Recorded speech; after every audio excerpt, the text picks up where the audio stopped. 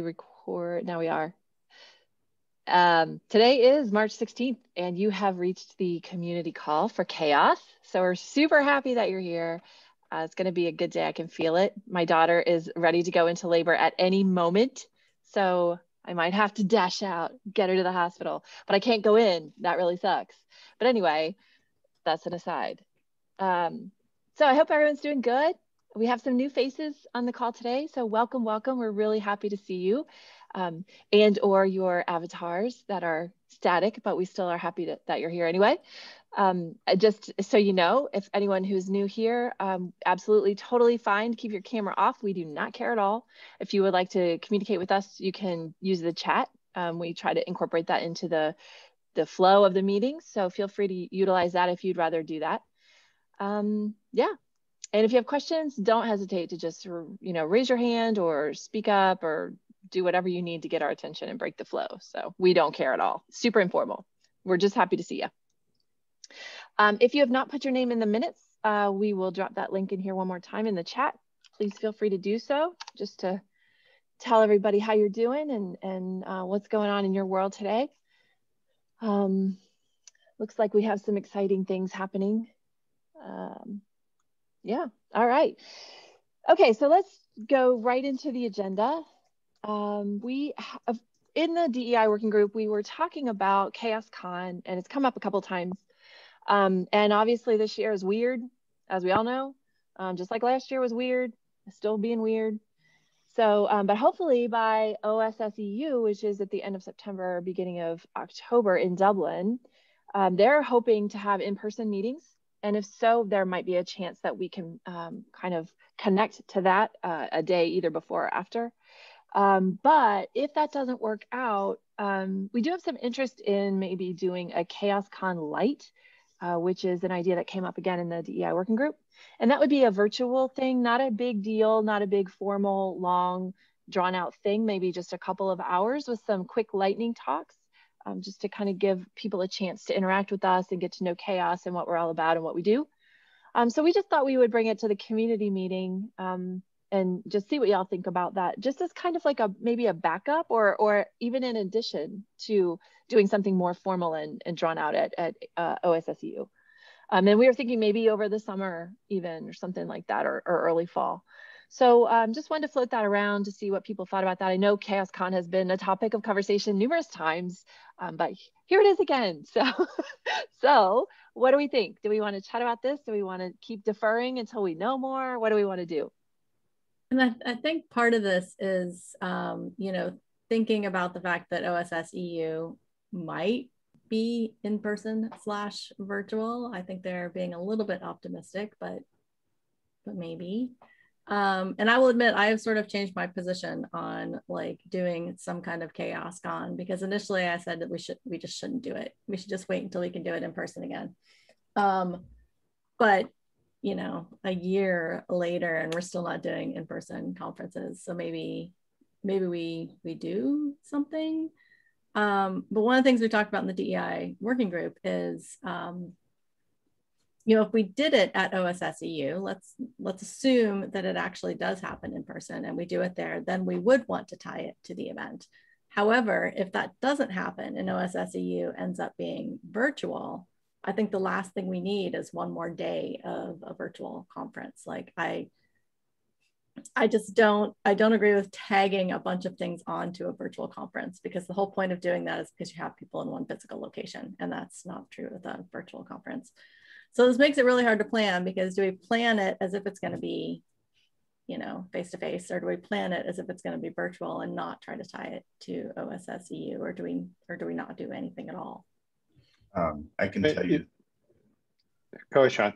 I can tell you, I'm responsible for the budget, like my signature for a conference in January 2022, and my colleagues and I, we're, we're going for it.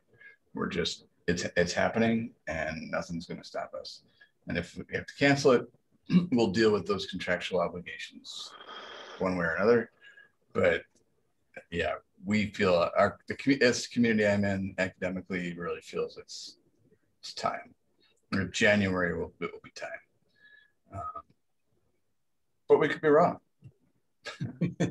one question I would ask to Elizabeth and even Dawn, because I'm sure you, you've talked about this uh, DEI working group. Uh, if it could happen in person, uh, and I heard through the grapevine that if Dublin or Ireland isn't safe, they're looking at backup options too to make sure that there's a high probability it's going to happen in person. Like whether it's in, in person or not, um, you know, I don't think there's any harm in uh, organizing a D, DEI a session, whether it's virtual or in person, just plan for it. And then if it happens in person, it becomes, you know, part of the CHAOSScon day. If not, then, you know, we'll, you know, we can have an event separately from from the virtual event. That's just my thinking. And I, I agree, like we've gone way too long uh, without any event. And it's just, uh, what I'm worried about those events that are not uh, doing anything even virtually, you, you just become like invisible after a while. So I, I, I'm sort of, you know, my, you know,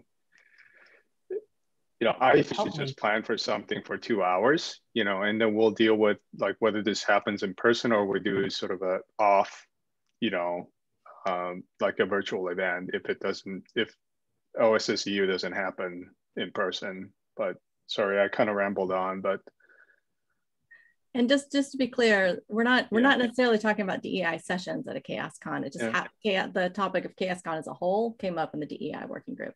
Yeah. Um. So just to oh, okay. So I think sorry. Yeah. Yeah. I, two questions. First, I think yeah. there's no harm in having two plans and planning towards two ends. Like it doesn't cost a lot, really. Uh, and so we can plan for the in-person and we can also be softly planning for not in-person. Does, does anyone know where the alternate sites are that are being They're considered? not telling. They're, I mean, I assume it'll be in Europe, but they're not. They're, I didn't necessarily ask, but they're looking at if Ireland vaccination is not going well, for for for example, then they're going to alternate options. But they're really trying to shoot for an in-person event at limited. I mean, at limited capacity, it's going to look different, but that's what I've heard.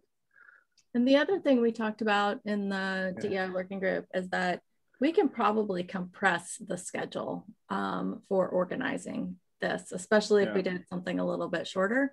So we don't necessarily have to have the CFP open for a really long time, and we don't necessarily we can we could probably pull together a CHAOSScon a month or a month and a half before before an event especially oh. if people could present virtually as well. I don't know what the i know these are going to be hybrid events but we you know we could also wait to plan it until we got a little bit closer to to the date too. I don't, That's yeah, I don't we don't have any pressing i agree we don't have anything pressing our schedule right now. It's march right? So uh, I would I would be happy to kind of like hedge towards an in-person event. I'm, I'm yeah. with Dawn. I think that I am too. Right, we could probably organize even if it's just a half day prior or in conjunction with OSS EU if it happens. And you know what? If it doesn't happen, well, so what? I'll just like just eat that time or we'll find a way to do it virtually maybe a month later or something like that yeah i think if it doesn't happen we we plan to do it virtually just not tagged onto the conference. We could do it a couple weeks later. Yep. Um, and one I thing to I, go ahead, Kevin. I, uh, I was going to say one thing to keep in mind is even though even though people are going to be more and more comfortable getting together in groups, I think international travel is going to kind of take some time to get back up. So a, a CHAOSS con in Europe or a CHAOSS con event in Europe is probably going to have really really low turnout from people in the States currently, and probably vice versa. If we were to do one in the States, we probably wouldn't get very many people from Europe. So just something to think about. Yeah, I'd, I'd get on a plane to Europe tomorrow, honestly. yeah, I mean, a lot of it depends on individual countries. Like, you know, I'm I, I live in the UK and we're really not allowed to travel right now. There's just kind of a ban on travel unless you have a specific reason to do it. I mean, so we're just really not allowed to travel right now the way I think about an in-person event is I, I would schedule a facility for an entire day. I would schedule a half a day of program. I think if we get together, and I think we will, people will just want to sit around and talk. I think I think if appropriate beverages are provided, a half day of program and a half day of just sitting around and and it's not like we'd be talking about nothing. We would have things to talk about, but we don't have to structure it. I think people will be so glad to see each other and talk to each other in person and enjoy an adult beverage if they're so inclined that that reserve the space for a day, half day program. Do that.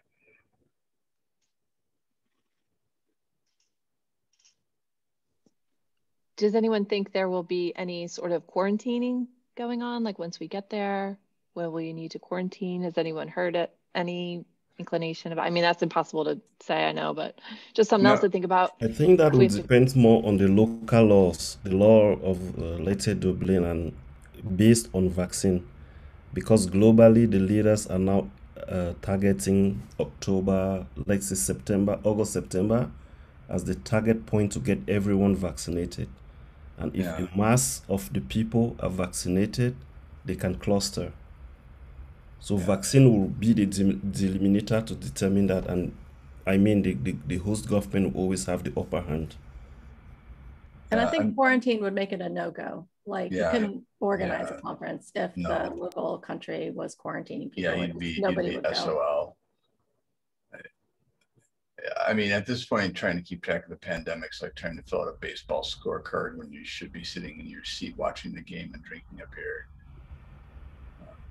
It's like it's changing so much, and there's so many. I don't no idea. I don't think any of us do. Yeah, I mean, this.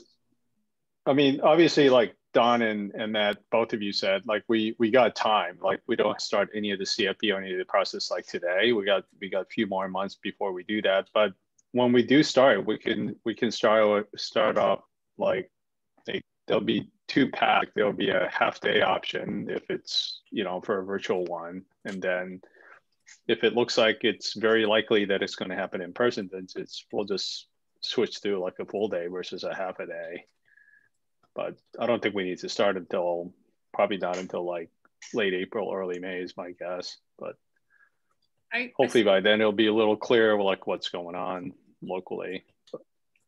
I'm assuming that the most difficult thing is the venue booking and canceling. So I'm assuming that'll John is yeah. if you find a place, then if you let us know when we have to cancel by, that also gives us our yeah. our date to call it. Yeah. I mean, based on like pet, they just give us a room in the venue. Yeah. yeah. We're not that big, that, so they that will we won't have to worry about. That will that won't be our problem. No. That's LF's problem. Like I, I'm on the hook for 45 grand on this January conference. Not personally, but I mean, I'll kill the conference if it doesn't go. That's... So my recommendation based on this is we kind of plan for an in-person event to Dawn's point too. I mean, I look at this call alone and there's 22 people on this call.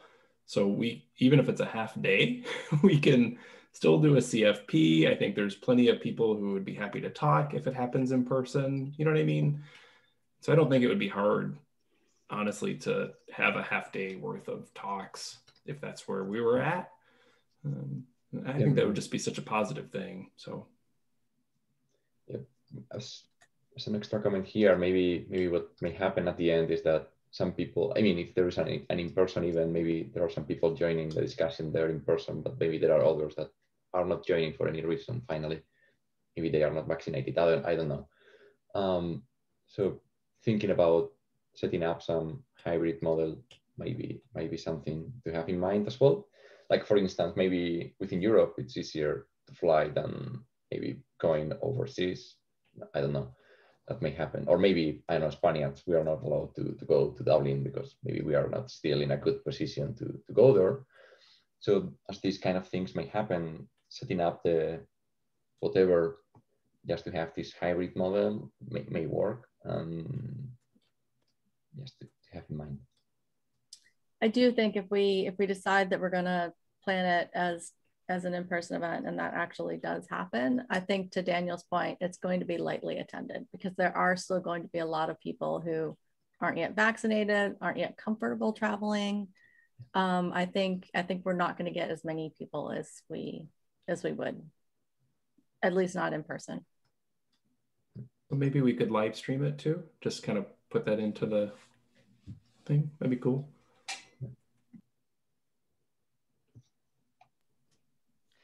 So Matt G, should we reach out to the LF and see if they can just hold us a room temporarily? Yeah, yeah I've already been kind of talking to Brian awesome. Warner about this. So he kind of knows, you know, it, it's exactly this conversation. so he knows we're interested, but I'm happy to be a little bit more official too. Perfect. All right. That was extremely productive. Thank you, everyone, for your thoughts and insight on this. Um, let's go ahead and move on. So we have a few other things, not a ton, but we have a few. Um, someone dropped in here four big sustainability questions. If I had to guess, I would guess that was Matt G. That put that in there. Stunningly. So um, Vicky, who I think many of you know, had put a nice, I don't know, post up. So if you click on the link, I just, I thought it was really nice set of questions that communities can ask themselves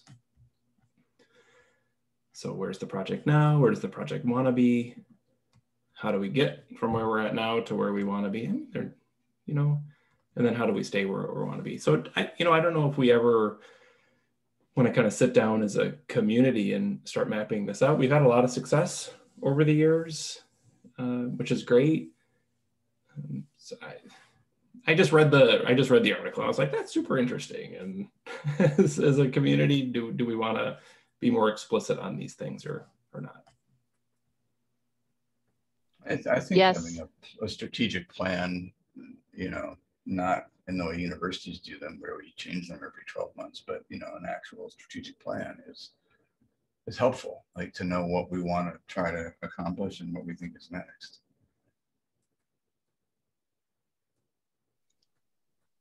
I've kind of had on my um, wish list to do list uh, to take a survey of the uh, a pulse survey of the community to see kind of where people stand and like how they feel and how the community is is working for them um, and what they think we could do to improve. And I think this fits in very nicely to that kind of idea that's been ruminating in the back of my head. Um, Matt, would you envision us sending out a survey like this with some questions that kind of relate to this, or would you prefer to maybe have a like roundtable discussion of those who are interested, or how would you see this going forward? I hadn't thought about that. I just put the link in this Google Doc, and that was the end of it for me at the moment. So, but when you were talking, I was actually putting a note in there in the minutes that listening to you talk that we're thinking maybe the pulse survey could kind of be related to these questions. That might be a really nice frame. Because I would I'm really love to hear. Open yeah what people think about this and like what their personal feelings and thoughts are on how they envision the project because i think we get some really interesting answers to that. So yeah i might uh, give myself an action item to to kind of flesh something out if if everyone's cool with that. If no one thinks that that's a terrible horrible idea. If you do please tell me. It's not a terrible horrible idea Cool. Well, I love to give myself more work. That's usually my goal because that works out great when that happens. But I think this is really cool and very interesting. So, yes. Ray put a comment in there too that just saw that. Yeah. Might be good for the governing board. Yes, 100%. Uh, do we know when that next meeting is? Some, sometime? So I would look at Nicole and Georg, who are the current co-chairs, they typically schedule that. So I'm guessing it would be in April, but I'll ping them just because I know that it can be hard to get on people's schedule without uh, much notice. Yeah. Oh, hi, Nicole. Hello. I am on. I will. Uh, I'll talk. I'll touch base with Georg about that. That'd be cool.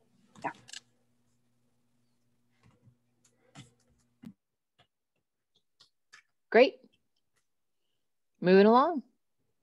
Um, we have in here the uh, Google Summer of Code update. Um, for those who are interested, I think some, some on this call might be interested in this topic. So um, we put a link in to where the ideas are being kept And we have ideas for Grimoire Lab, Augur, the CHAOSS metrics release, and also the CHAOSS website itself. So if any of those general topics interest you, go take a look at those ideas. Um, and then I also linked here um, how we select students and what the next steps are so that they know for sure what they're supposed to be doing. Um, so you can take a look at that as well. Does anyone have comments on this or questions? I think there's also been updates on the mailing list and I put some stuff in the newsletter too. So there's a lot of information floating around out there, but if you have, if you need clarification on anything, or if you have questions, um, feel free to ask them.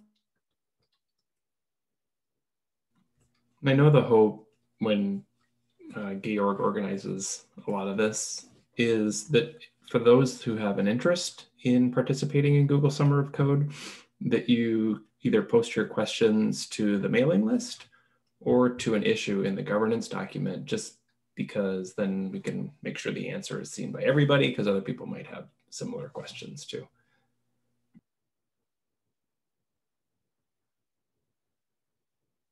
Seems like a reasonable request.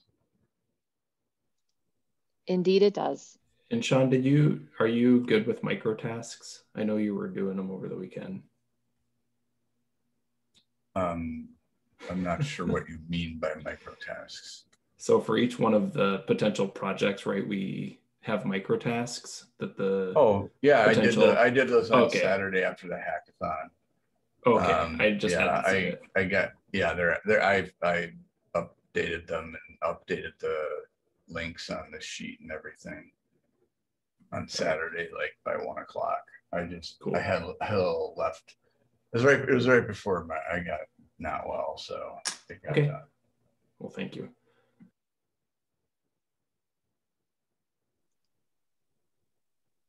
Anything else on this? Questions, comments, concerns? No, I think one of our, you know, the next step too is that based on the applications, I think the order is that we put in how many slots that we have an interest to support this year. So it's kind of a series of events, right?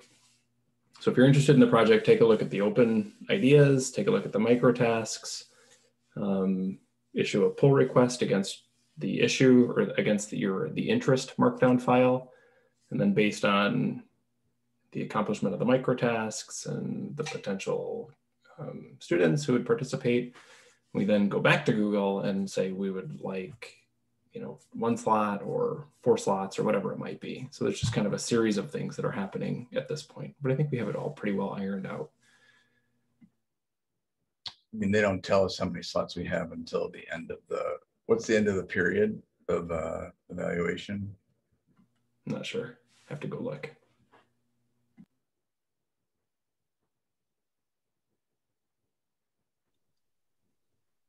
I'm not sure either.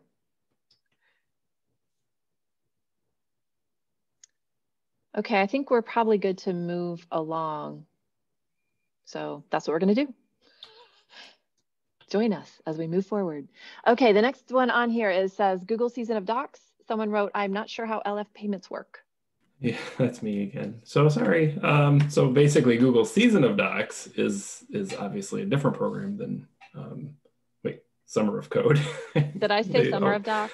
I don't know. They always kind of like just get mushed in my head. I know. Um, so the so this is they're both obviously a little bit different this year. So um, and so this year, the way that payments work for Season of Docs is um, the Season of Docs organization is pays the community, and then the community pays the person who got selected. See what I'm saying? So unlike um, Summer of Code, Summer of Code program pays the students directly. So we have to figure out how to just logistically get the money from Season of Docs right now our bank account sort of thing is that it's the old community bridge thing, LFX something or other. So I, I think we just need to figure out if we can pay somebody out of that account. Because if if we can't, then we may have to set up an account with the Linux Foundation itself and pay in there. And was it Matt, was a payment process for a season of docs different last year? Like it was. Yes. Okay. So we, All right, we so never saw the money. one. Right, this one now involves us for some reason. I'm not sure why, but that's okay. That's that's odd. Right. So I don't want to. I just don't makes want the it- money. Right. That actually makes it like more complicated. Like It's a little bit more complicated, and I just don't want the money to end up in the old community bridge again, whatever it's called now. And then it, it's like a real Right. pain for us to get it out of there to Right. pay the student. So we just need to figure out that logistics. Sorry, that's a very like low level logistical issue. I yeah. think it's something we have to think about.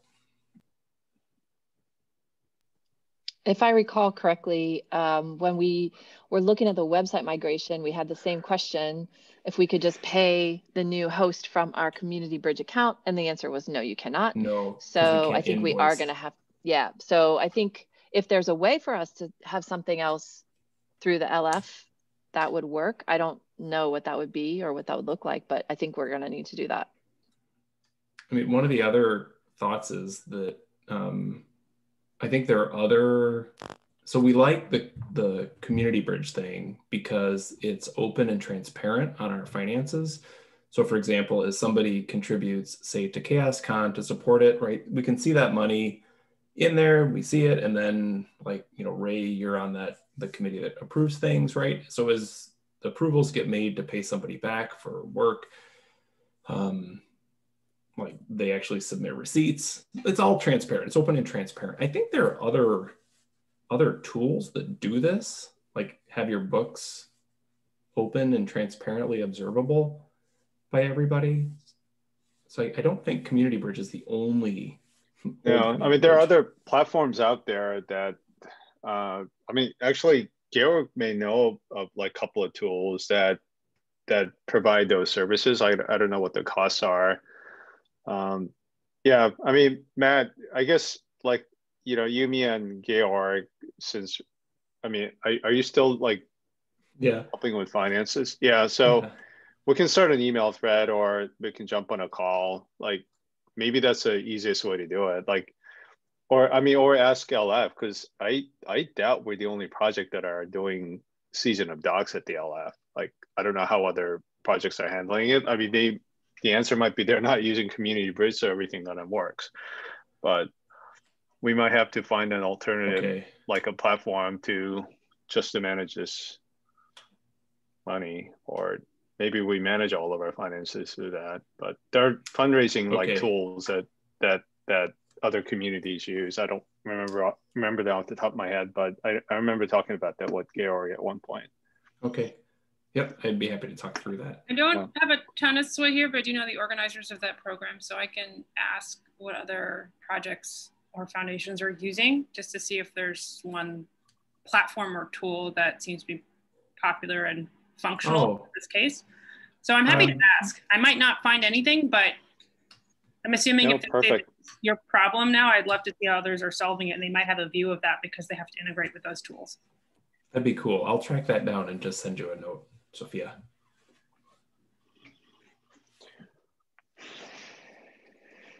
Thank you, Sophia, for offering that.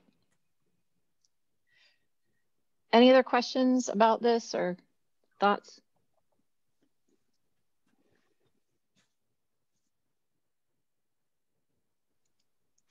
Um, okay, well, we have about 18 minutes left.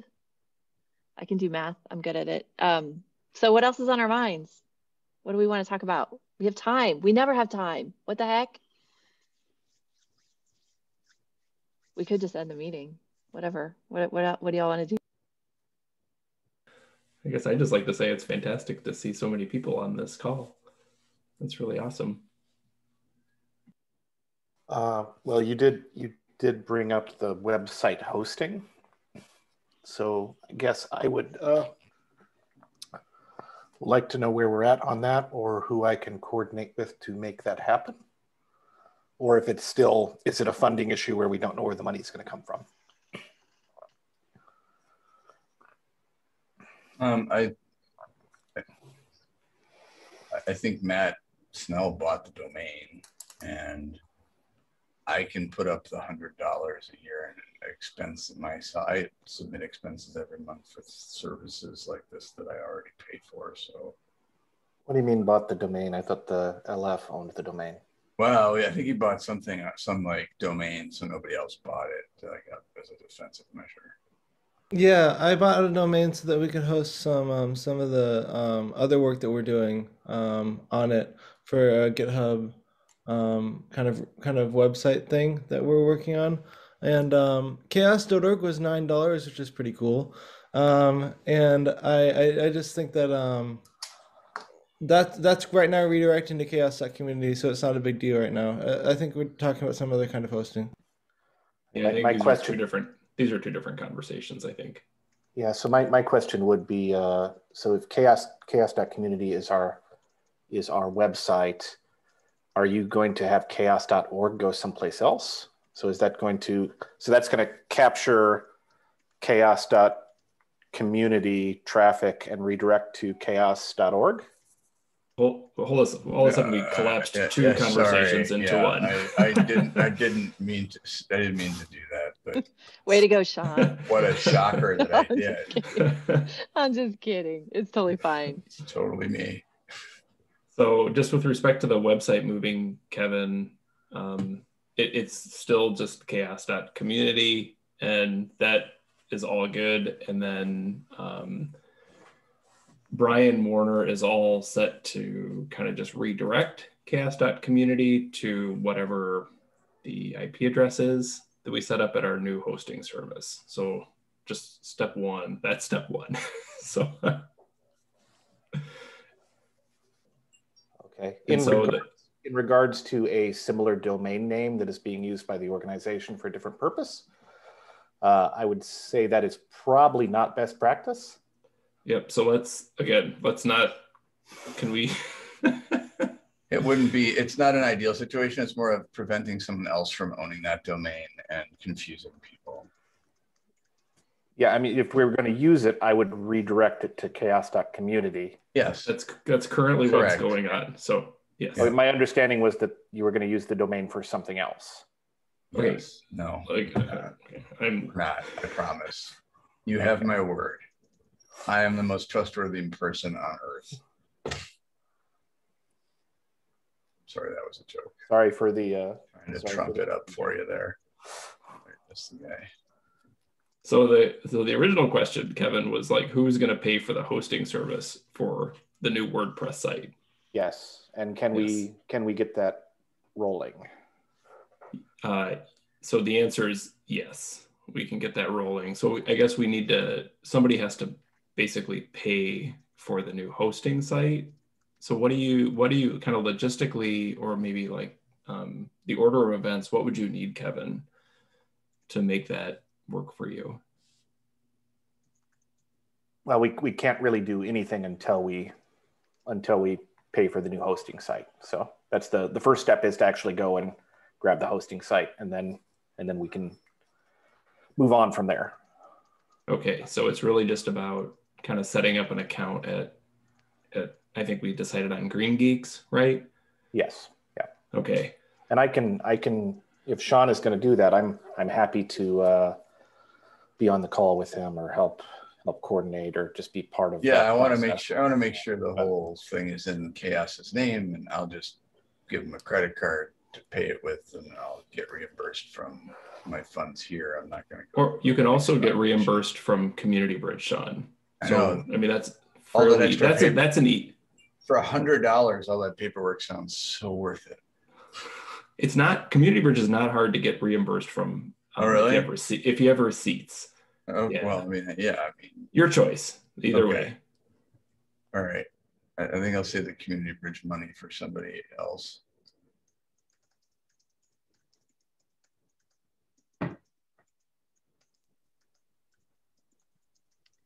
Okay, um, there was a question in the chat that says, how was CHAOSS Community created? Does it have an interesting story?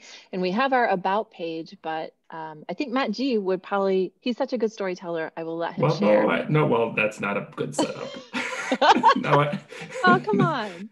You are a good storyteller. Well, so chaoss.community. So CHAOSS, the the name CHAOSS, just if people care, there's some dispute as to who came up with it, just so you know. I see. So yeah, Sean says it was him, and I think it was Mike Dolan. at the Linux. It was probably Mike Dolan. There were beers involved, and I just remember it wrong.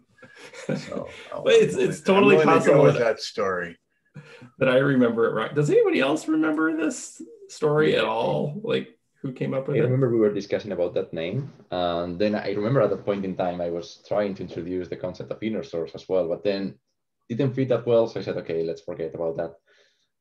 So then finally we had CHAOSS, and yeah. so who who who coined? Do you remember who coined the name? Oh, Mike Dolan. Yeah. all right, we got, a, we got a no one right there. I do remember a, I remember a discussion in the in the uh, in the documents where multiple yeah. names were were brought up, and I, I, believe we may have even been using a, an acronym uh, machine uh, to come up with some clever names. I don't remember that. Uh, yeah, again. So that's the the CHAOSS name. And it was just obviously one of those as we were running if we had an acronym machine it was obviously one that as soon as that came out of the acronym machine or, oh, I, I, don't think said, it, i don't think it actually came from the acronym machine but i remember we were we were playing with one to try to come up well, with acronyms. as soon as CHAOSS came forward that was just the end of the discussion period. Yeah it was perfect. That was it was absolutely perfect. we had no idea how prescient we were Um, so that's the name. And then the dot community, I think that was just somebody at the LF was just grab that domain. So that's actually, actually interesting. Georg, Georg picked that. Oh, well, that's that's interesting. I didn't know that. Good to know. So, um, how did the CHAOSS community itself come to be? I think there was something about a conference and writing names on a board. Oh well, that's all. Yeah, so that's that's Let's do that one next time. Okay. one story at a time. oh, we have 10 minutes left, but you know, that's okay. uh next time. Okay. I have, to, I have to, like brace myself for that one. So well now I really want to hear it. Okay, fine. So basically what it so basically uh what it was was um so Sean and I were at a at a conference in um in Copenhagen, and um, we were talking about uh, corporate engagement with open source communities. So just kind of the challenge that corporations um, bring with respect to, to open source and, and what that means for open source. And um, Arfon Smith was sitting at the table. So do, do any of you know Arfon? Arfon was at GitHub at the time. Uh, and obviously GitHub at the time was very interested in how corporations were starting to kind of exist on the GitHub platform. So Arfon said, we at GitHub are also very interested in, in this as well. Um, and so he connected us with uh, folks at the Sloan Foundation, so the Alfred Sloan Foundation, to kind of just explore this idea what community health means and what the impact is for organizations, not just corporate organizations, but really any organization that's starting to get involved in, in open source. And a lot of you know this, right? Because organizations participating in open source is, is kind of a thing. Um, so we went to the to the collab summit or leadership summit or member summit, whatever it's called at the at the current state of affairs and we so this was during that first year where slow not happening. i think is what it's called. well but you all remember this conference right? I mean the one that's been at squaw for the last couple of years. Um, and so there was a birds of a feather board and georg link said we should put open source community health and sustainability on the board to see if anybody has an interest. So we weren't on the schedule at all. And i was like there's nobody's going to come. I don't want to do it so nobody's nobody's going to attend this session. This sounds like sounds like just a lot of work. I don't want to do it. So Georg was like, "Do it, do it, do it." So I was like, "Fine, let's put it on the board." Um, and it was down in the basement of this this hotel in Squaw Valley, and probably 45 people showed up that had an expressed interest in better understanding open source community health. I was totally stunned. I had even told Georg, I'm like, just bring your laptop because we're just going to work on a paper we're just gonna it's just gonna be you and me sitting there totally doing totally doing nothing while while nobody appears. Um, and so sure enough 45 people came. We never even made it through introductions of every 40 people whatever. We never even made it through introductions. It was absolutely fantastic. Um, we were able to reach back out to, to Josh at Sloan and say this was a, a huge success. And we, at that meeting too, we talked with uh, Kate Stewart uh, and Mike Dolan as well. And really from that point forward, uh, we just had a project called open source community health or something like that. Um, and that was really the, the beginnings of it. And I will also say, Daniel, you can fill in the parts with Bitergia and Grimoire Lab, because there was also kind of a parallel discussion occurring at the same time, if I'm not mistaken. Yeah, yeah. From from Bitergia, from that perspective, we were kind of uh, um, so our customers were uh, mostly open source foundations. We were kind of a hub of foundations with that specific question in mind, like, hey, what what does health mean, sustainability, etc., etc. Um, we were already providing metrics to them, so it was like some we were having some conversation about, hey, what if we put all of these people together thinking about this topic and so on. And of course, there are other companies and people and, and so on involved um, here and there. Um, yeah, so that's that's more or less the discussion. And as far as I remember, the I think this happened in this leadership summit at some point, and then we had some discussions, further discussions. Then we started to work in the charter document or so. We had this conversation about the name, the logo, that was done by the uh, Linux Foundation as well. And that was not the one I voted for, by the way. There's an alternate logo out there somewhere, and I didn't vote for the one we currently have. yeah. Um, Does it make you angry, Matt, when you see it every day? Every day, I can still see the one I voted for in my head. I, I can't remember there ever being a different logo proposed. It's, yeah, there were like four four different logos. Yeah, I should I should try to find them. Yeah, we were voting. Probably in, in our email should be around. I need to look for that. I, I don't remember. Um, yeah, um, then so we, we had I think our first Grimoire Con from Grimoire Lab in that year in 2017 in in FOSDEM or the previous one. Um, and then and then we when based on these conversations we thought about well donating the project even when this was already open source to the Linux Foundation. So then was Bitergia with Grimoire Lab Augur, I, I Augur was donated from the very beginning, right, Son? Mm-hmm. Okay, it yeah. Kind of, then yeah, well, it was it was we really needed a Grimoire Lab, and then Augur was you know to create CHAOSS, we needed Grimoire Lab involved. You get the Grimoire Lab has been a long-standing tool. Hmm. And, and then uh, Red Hat with uh, Prospector donated this as open source as well, um, and GitDM by the University of Victoria with Daniel German so those were kind of the four projects in the software side of things. Um, yeah, that's what I remember. So there, there's some of the history. There's a lot of nuance in there too. So you are a good storyteller. That was excellently told and well, very enjoyable. sense.